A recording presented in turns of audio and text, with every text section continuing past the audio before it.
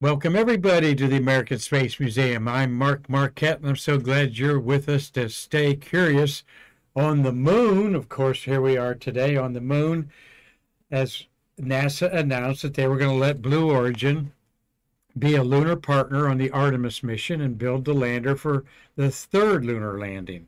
And we'll talk a little bit about that today, as today is Future Fridays. We put the image up there. If we have some problems, we may go off air again and come right back, as we've got some. We don't know what's going on, but we've got some uh, CPU outputs that spike and create. Then we can't change our pictures here. But uh, and Marty says don't touch any keys because it's messing up again. But uh, we may touch them anyway to see. Yeah, I, I, I already tried it. Okay. And it, and it's, Okay. Well, Marty Winkel, my co-producer, we're on episode 815, and and uh, it's unusual we're having such bad problems, but we're so grateful that you stick up with us here as we're going through there. So that might be Trekkie Techie on his phone. Okay. Uh, so we can't advance anything right now, Marty, as we're kicking off a show that we're going to talk about some of the lunar startup companies that you've never heard about. Certainly, some of them I didn't hear about doing my book report for Stay Curious today. But we're also going to look uh, at uh, what was said about the Blue Origin and other partners involved, including Northrop Grumman, that are going to build a lander parallel to the Starship that SpaceX is pioneering to land on the moon. So, just like Apollo going to the moon 54 years ago with Apollo 10 and Snoopy, the lunar module, LM number four, this is a fluid situation with going back to the moon.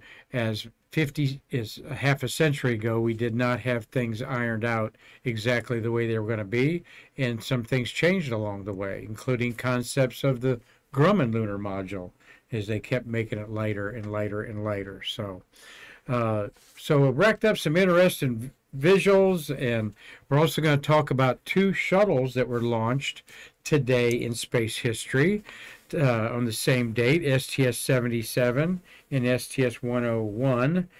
Uh, and they landed on the same day, uh, May 29th. Uh, so, uh, some notable crew members there and photographs from the Usiak brothers, our partners, Tom and Mark Usiak, have uh, allowed us to use their photography from covering 70 space shuttle launches uh, throughout their careers there. So, should we try it, Marty? it's not going to go because I already tried to advance it. I tried to go to four. Uh huh. So it's just running at 33%. And it, it'll, it may not crash, but it's not going to change. Okay. Well, let's look at what. Uh, also, we've got a launch Sunday. We're going to uh, uh, uh, Sunday at 5:37 p.m. Uh, Axiom mission number two, led by Peggy Whitson, NASA's most experienced astronaut. She is now the head uh, chief astronaut for Axiom, and three rookies are going to go to space with her uh, on Sunday evening. So that will be a big deal. Just a few blocks from here at Spaceview Park, as the rocket on pad 39A is 10 miles from where Marty and I are sitting, patiently wanting our program here to reach. Uh, do you think you uh, so? I'll let Marty give me the go here when we think we should go, but if we crash, we'll make an effort to come back. Again, you see the image go large, then we're good. We should be good. Okay, all right, okay, all right. I see. He made this this uh, what you're seeing here, uh, enlarged it, and that's what's happening is we can't manipulate anything on our Streamlabs photography slideshow. All right, I can talk uh, and talk, talk, talk.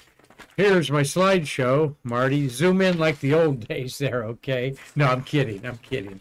Uh, he went for the camera there. I'm just kidding. We're not going to do that today. But that's how we did it uh, two years ago, was zooming in on the uh, photographs that we printed out.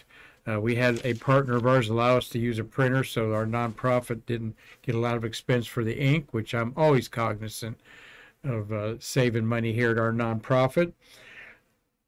So we have to wait for the moon startups to go big. So let's look at what um, was said today at the Artemis conference, uh, press conference this morning with Bill Nelson, our NASA director. Uh, he said uh, that, uh, that Blue Origin has been selected to develop a landing system for the Artemis 5 mission to the moon, uncovering scientific discoveries and preparing uh, for future missions to Mars. Good. All right. Blue Origin will design, develop, test, and verify its Blue Moon lander to meet NASA's human landing requirements for reoccurring astronaut expeditions to the lunar surface, including docking at the Gateway. And Blue Moon was the concept that Northrop Grumman, Blue Origin, five other companies got shot down for the Starship that is shown here. Uh, uh, and the Blue Moon, uh, new concept of the Blue Moon's over on the left there. Uh, quite smaller, uh, but about a lot larger than the 23 foot tall lunar module that was headed to the moon today. So let's see what we can do here to help you stay curious. GoHistoryTravel.org. Thank you, friends, for your support. They are a great little website there. I just saw it flash once, Marty, uh, with all kinds of historical stops that you've never even heard of. So go check out gohistorytravel.org. And thank you, Carlton Bailey, for this rocket launch photo. About I think it was 2:30 in the morning. Originally going to go about 12:30. I got up for it. They moved it back, and then went to bed. They moved it back again. Uh, but this is a, a, shot from about 30 miles away, uh, and uh, you know this is what the locals get. And then of course those noisy rockets waking us up in the middle of the night. But uh, good luck uh, to SpaceX, and uh, they certainly have changed everything here on the Space Coast. Well, we've got a birthday, and we want to wish a happy birthday to former NASA astronaut who is 68 years old, Pierre Thuot. Thuot considers Fairfax, Virginia, and New Bedford, Massachusetts to be his hometown, though he was born in Groton, Connecticut. 68 years old today, spent 27 days in space on three space shuttle flights, took part in the historic three man spacewalk of Endeavour in May 1992, uh, STS 49, one of our shuttles of the month of May. And he's got 15 hours of EVA. A Navy captain, Thuot, played a uh, Martin backpacker, is what he has in his hands there. About a $300 little beautifully tuned guitar that uh, I saw up in Appalachia a lot as people out walking the Appalachian Trail, and I'm up there in Damascus, Virginia, stargazing a lot. Had those so. Thuot was nicknamed Pepe for his French-sounding name.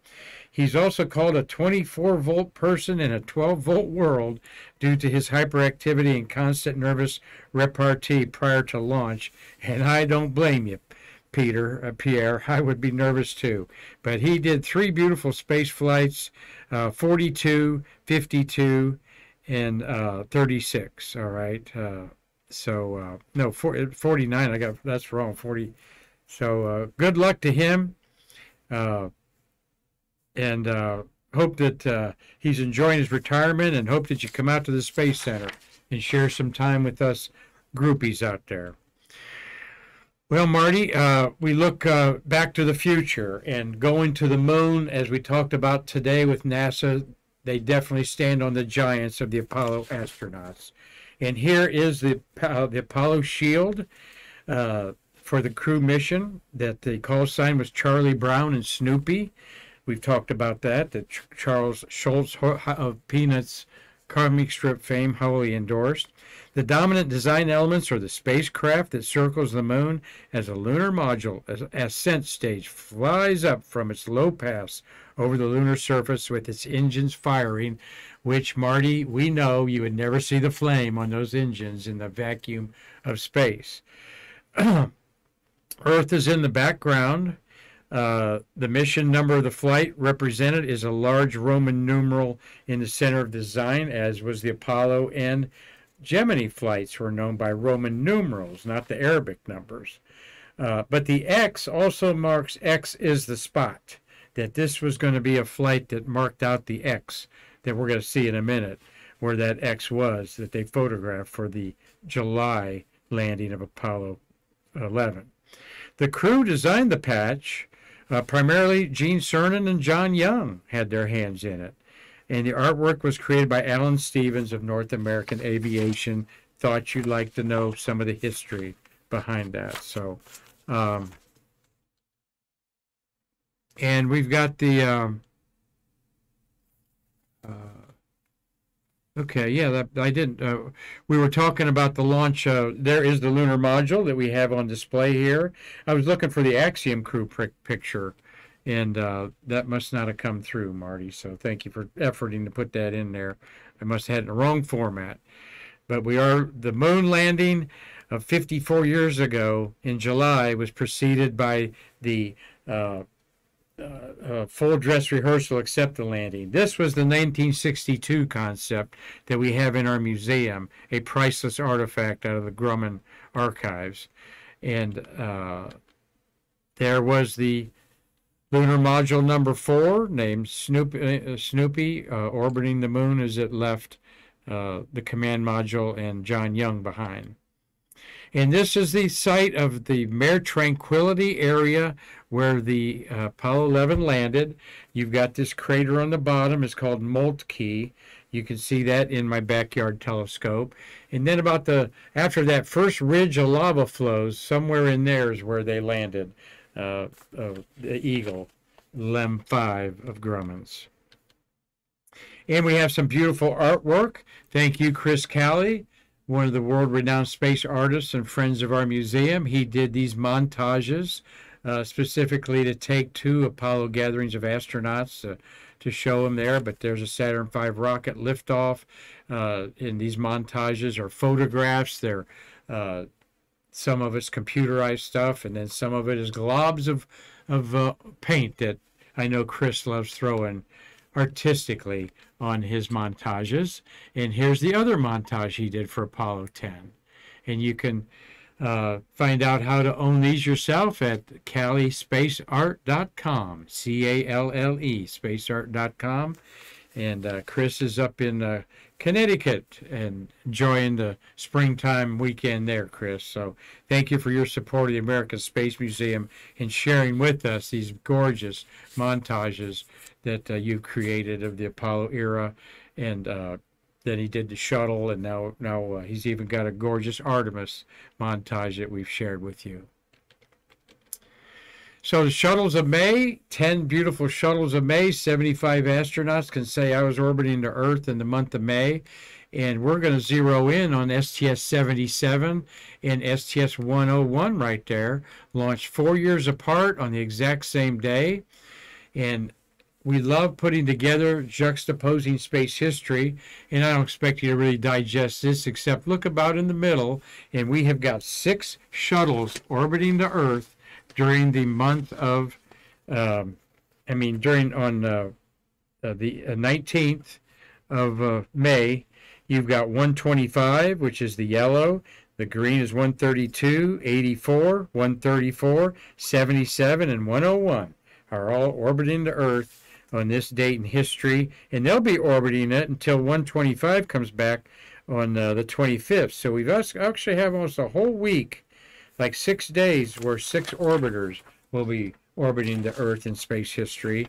And uh, among those, six times uh, over 30 astronauts involved in that that can say, This week I was up in space, guys. Aren't you impressed?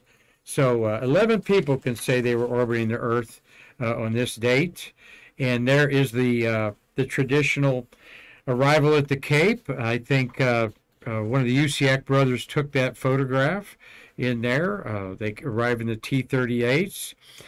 Uh, six were on STS-77 in 1996 aboard Endeavour, and uh, then Atlantis. here is that crew. Uh, Space Lab Hab 4 was a science mission focused on biotechnology, electronic uh, materials, and agriculture. And they also uh, sent out into space this this uh, experiment.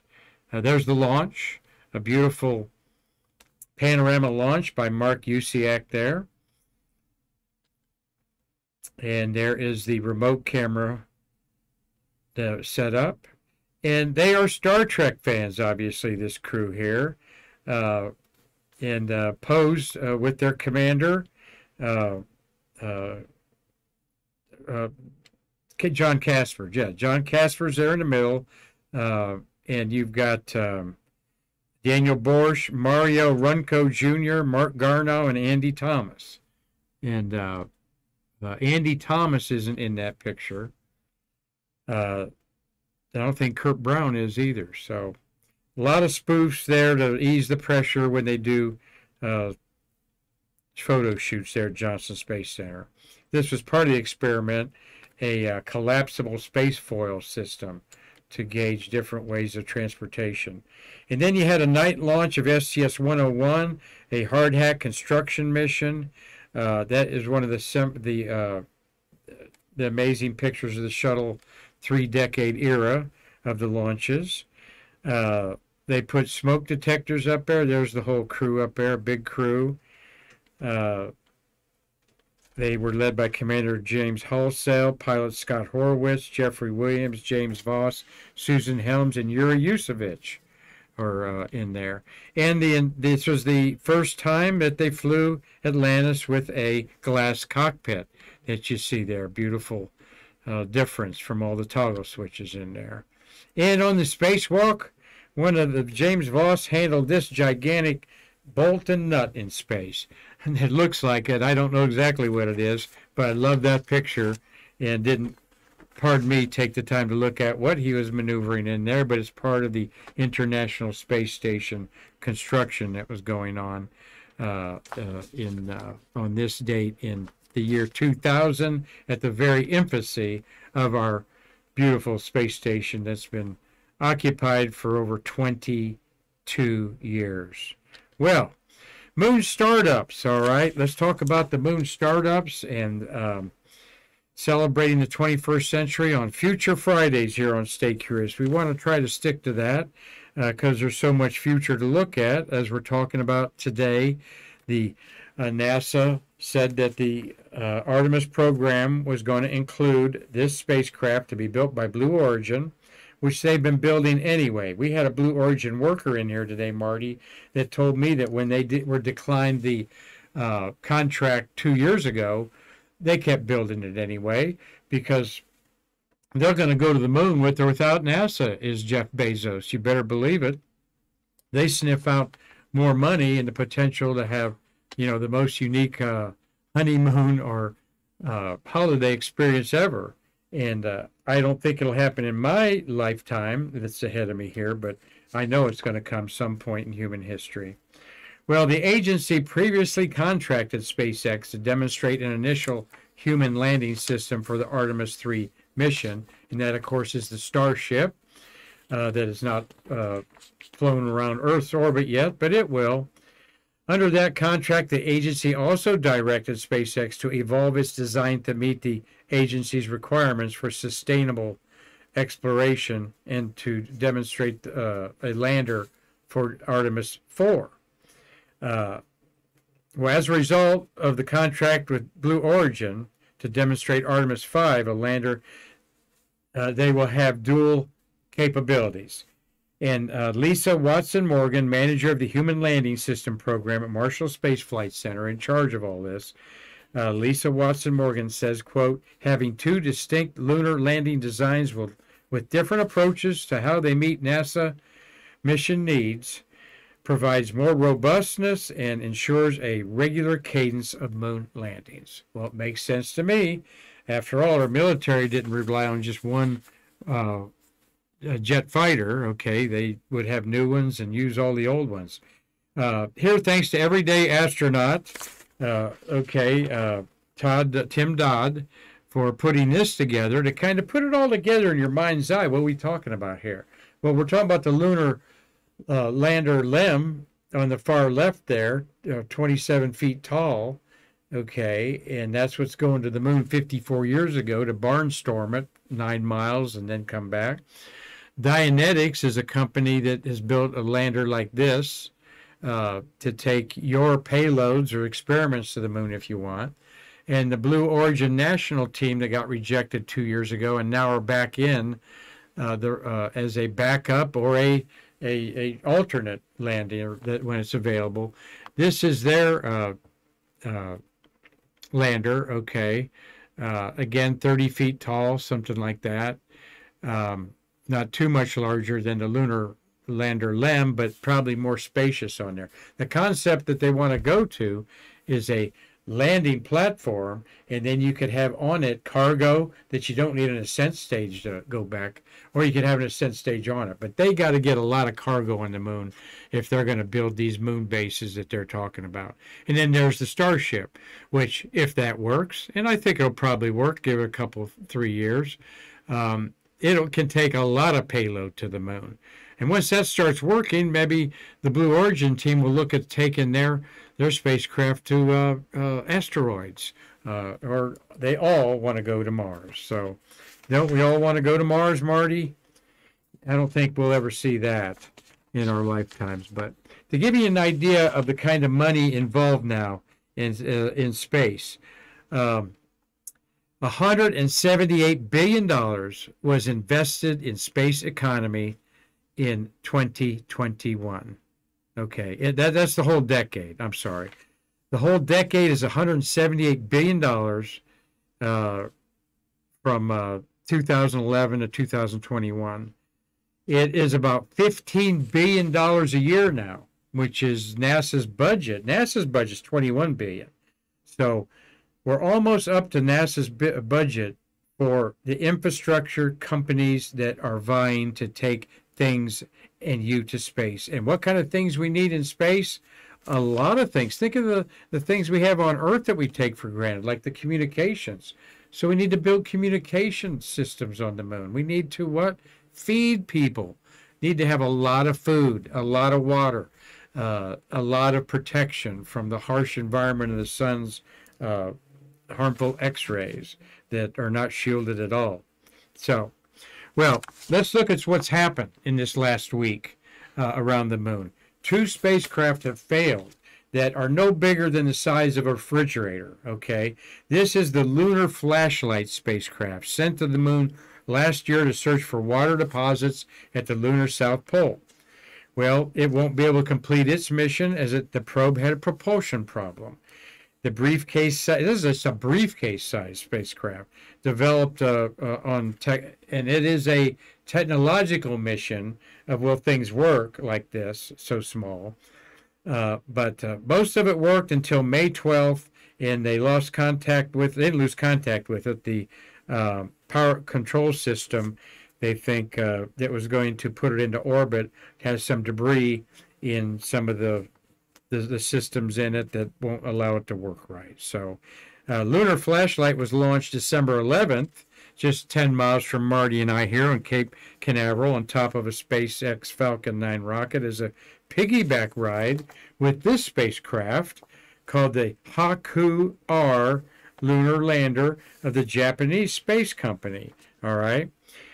So the one mission is lost, all right, just a suitcase size thing. They couldn't get it to do what they wanted it to do. And then this, about the size of a refrigerator, crash landed on the moon when they lost uh, uh, communications with it about uh, 200 feet above the surface, and it was traveling about 16 miles an hour. All right, and that was in April, uh, April 25th to be exact. So in the last three weeks, two missions that were sent to the moon on the same Falcon 9 rocket uh, finally reached the moon, and the missions, uh, they're going to say a partial success because the technology that got them there that far is new. But these uh, these spacecraft, by the way, Marty knows building the helping build the lunar module for Grumman that just takes three days to go to the moon but not with these small spacecraft that didn't have a propulsion system to push them to the moon at 30,000 miles an hour. No, these were done in a kind of a, a corkscrew like orbit that would expand out and get closer and closer to the moon until it's so far out that the moon literally runs into them and then they use their thrusters to equalize it and go into orbit. That was the concept. Both of them didn't work. Okay, no confirmation that this landed safely, but there were no signals from the lander after touchdown. and they probably are putting the, our lunar reconnaissance orbiter on there because it can see things about a yard across on the moon, so it'd be able to see the splat where this happened. So, well, Marty, now's for some companies you and I never heard of. Uh, you may have, I have never heard of. Intuitive Machines. Their Latin motto is Atigo Planitia Luna. Uh, drive to the plains of the moon is what that's that means all right and this is what they want to do uh, they want to create many things that we're going to need on the moon one of them is a a micronova hopper that's what this is about here this patch can accommodate uh, about uh, three pounds of science payloads and and go 25 kilometers from its initial landing footprint. So it can take a little over about three pounds of payload uh, to well within a 15 mile radius of where it lands on there. Uh, and the looking for critical science, uh, discovery places, other applications I'm sure we haven't even thought of. The other thing that they want to do is develop a, this is intuitive machines, uh, putting uh, IA, uh, artificial intelligent robots, rovers on the moon, and one of the biggest plans is to, create the uh, communications grid on the surface of the moon. If we're going to start putting people on there and private companies like Intuitive Machines are going to put a science experiment from Ohio State University on there, they need to be communicating more than just with one antenna Goldstone or, or, or uh, in California or Canberra in Australia, they're going to have to create a whole new system up there. And this is part of it. The green is simulating the, the type of uh, communication system that would be invisible, of course, on the moon. They also, and, uh, and go to Intuitive Machines. I guarantee you, you're going to see a lunar, um, they have a lunar access users guide that's 30 pages that you actually figure out what you want to do with something on the moon, and they will tell you how they, they're going to do it and where they can do it, and and uh, then of course you get down to the uh, sharpening the pencils about how much is it going to cost for you to do it. By the way, the contract for uh, Blue Origin is about three billion dollars for to develop their lunar lander. And there's another uh, intuitive uh, uh, machines an intuitive machine machine, Marty, uh, on the surface of the moon there. Uh, they could do all kinds of things. Some astronomers might want to put telescopes on the moon. They don't have to be optical. They could be radio telescopes. They could be gauging uh, solar uh, things uh, there in, in the void of the lunar surface. So, well, another company, Green Onyx. All right, there's their logo. What does green make you think of? Well, vegetation, and that's certainly what they're about. They're an, an agro tech startup that's developed its platform for cultivating and packaging crops. This is one of the many companies out of Israel. There must be four or five startup companies concerned about the moon out of Israel. This one out of Tel Aviv claims that its production efficiency is equivalent to a 3,000 square meter green vegetable field. I'm not sure how many acres that is, but um, but they're going to test their growing facilities on a platform in space soon. They want to grow water-based lentil plants uh, and make an autonomous, of course, artificial intelligent growing facility. So good luck to that while I have me a little drink. And so far, so good, huh, Marty? Yep. So whatever the anomalies are have straightened out. And as soon as I say that, of course, we know what's going to happen. Well, here's a company called Exum, E X O M. Think Space Serenity when you think Exum, okay? They are involved with sustainable habitats. Not only food will we have to consider for survival on the moon or Mars, but as suitable habitat. Uh, and, you know, let's face it, humans like to be comfortable, okay? So we're just not going to settle just for some little uh, shack up there on the moon or uh, or, on Mars. We're going to want some creature comforts, and you know what? We're going to need them. because the psychological support platforms that are going to be needed to keep our brains from going crazy and not uh, wanting to uh, choke out the person across the, the tent from you, so to speak. But uh, they're collecting weather data, they're collecting psychological support data. They plan to develop a recognition system to analyze uh, the space, they're calling them settlers' moods and needs. Thus, Exxon, uh, Exum will make life on the moon more comfortable and stable, is their goal. Now, Marty, some of these are going to be winners and some of them are going to be losers. There's going to be a Pillsbury out there. There's going to be a Ford Motor Company out there, but there's going to be a lot of Studebakers and and other half-baked uh, people ideas out there that aren't going to make it. So this is the uh, we hope the democratic way that America was built on will continue in uh, to the space entrepreneurs. Well, Lunar Outpost is one that you may have heard about, and this is theirs behind me here. It is a Colorado startup that wants to turn the space economy into the largest market in human history. Okay, now think about that. I, I think we're on the cusp of something, and I really fear, you know, at my age, as a baby boomer, I'll probably be uh, I'm too old to see this come to fruition. But I guarantee in a hundred years, there's going to be some moon economy that you won't believe. The company is developing rovers and other technologies. There's their outpost there. There's another one of their ideas. Uh, uh, putting systems and sensors on the surface of the moon. It intends to benefit both space exploration and the people of Earth. Uh, they're already working with NASA to carry out several missions on the moon. They're working on the Artemis missions. This is a logical habitat uh, that we've thought about for uh, 50 years is put the soil of the moon called regolith over habitats to help insulate it from the harmful cosmic rays and solar radiation. And there on the top, you see some uh, skylights, if you will, uh, to uh, do some stargazing or whatnot. So, uh, and so that's Lunar Outpost in Colorado. And then WeSpace Technologies, okay? Think lunar hopper or lunar helicopter, though there's no air. At the, uh, this is another Israeli based company. They are developing autonomous flying robotic systems, also known as thruster propelled drones or hoppers. This technology is designed for lunar missions. It wants to partner with those that want to explore the moon.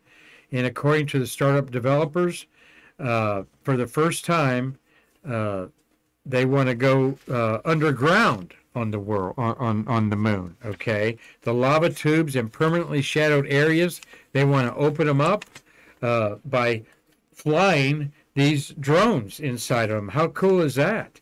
And the lunar surface will open up many opportunities for future explorers all right? Uh, bill whiting thank you. I'm glad that you're watching today up in michigan. Uh, Oh, and he says, consider changing the name of the show to Perseverance. And Bill, who's been in this studio before and knows a bit, little bit how uh, how it flows at the last minute. Thank you, Bill. We are keeping our perseverance here and our smiles on.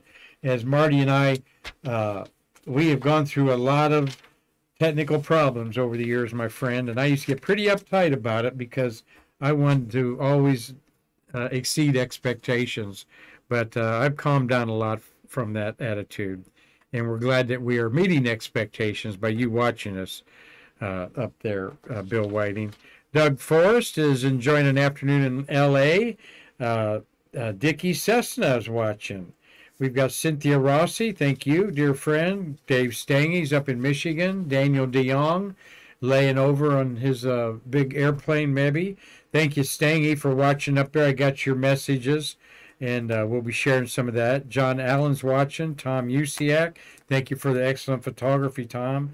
Steve Hammer and Danny Noah is watching. Seeing your name a lot, Danny. Thank you for staying curious. I want you to look up a couple of these companies we talked about. Uh, boy, they got some beautiful uh, uh, websites. And this WeSpace, I talked about. Imagine this little guy flying with these thrusters going through a lava tube there that's underneath the, well the lava tube collapsed where apollo 15 landed but we know there's a lot of lava tubes and also mars is filled with them. I think there's life in mars caves. I'm convinced of it. Uh, there's got to be a warm habitat underneath the surface of mars. Uh, and there's some blind crickets and and uh, albino roly polies under there. But this is a 3d printed facsimile of what uh, WeSpace technologies wants to do. So end stay curious here Marty, what's going to get people to space? What's going to get people to space? A dollar bill, right? So when you think dollars, you're thinking space mining technologies. If and or when they discover a chunk of an asteroid that's entirely made of gold or silver, will they bring it back or not and completely destroy that that precious metal on Earth? Uh, or will they uh, keep it out there and bring chunks of it back uh, and become uh, multi multi billionaires? Uh, these things are out there to be mined. There's also a uh, the we're going to we are going to I think NASA and ESA have a spacecraft going to an all iron or metal asteroid to see what that looks like, and there are asteroids uh, from a half a mile to five or ten miles that are basically metal and we're not sure exactly what's up with that. So, Space Mining Technologies uh, was founded in the United Kingdom in 2017. There's their concept. It covers a wide range of technologies from extracting water uh, from the surface of other planets to space systems engineering. In particular, they're looking for working on a platform for autonomous rover navigation and AI services for designing complex rovers that they're going to call Armstrong. So, uh, but there's one of their concepts of mining an asteroid, and uh, one of the other concepts along with this that uh, they that they are a company pioneering is to save the planet from a asteroid that we know is going to hit the Earth and could wipe out city or even humanity like it did the dinosaurs. So. Marty, almost $15 billion in space infrastructure companies going on around the world right now. And uh, everybody wants a, a piece of the pie. And we hope that they uh, invest their money wisely. We hope that their missions continue for success. It takes millions and millions of dollars to do it. Khaled Zan knows that. So is Christopher Mick. Uh, uh, hope Christopher, you're out there getting ready for some astronomy outreach on this uh, new moon weekend. So, well, I'm, so uh, we wish everybody well in in the, the, startup world out there and going to the moon. Uh, if Artemis doesn't go, we know that there's private companies going to go. So uh, it's an exciting time. 50 years after the Apollo era, it looks like people are on fire to go back to the moon again, Marty. So well, thank you for an excellent job of navigating our woes today. I'll let you hit the three. There we go. We've had a fun week this week, as usual. Uh, it's always an adventure, but uh, hopefully we'll get our Streamlabs situation completely solved. Thank you for sticking with us. And uh, just a reminder, a week from Monday is uh, Memorial Day, and we will be closed on Memorial Day, and we hope that you honor our soldiers and military appropriately on that day. One of my favorite holidays favorite times of the year is the month of May. So hope that you all get out and enjoy a wonderful weekend, whatever you do in your hometown, where finally the veil of winter's lifted off and everyone can uh, feel like they're in Florida, like we do 24 7, right, Marty? So uh, thanks, everybody. Fingers crossed to get Peggy Whitson up there to space, the NASA's most experienced astronaut, the commander of Axiom 2, taking three rookies up there uh, for uh, Axiom Space Company. And uh, we're going to be just three blocks from here watching all the action Sunday afternoon. So can't wait to see you again to tell you all about it. Until then, I'm Mark Marquette saying, come plan to visit our museum soon so we can bridge the space between us.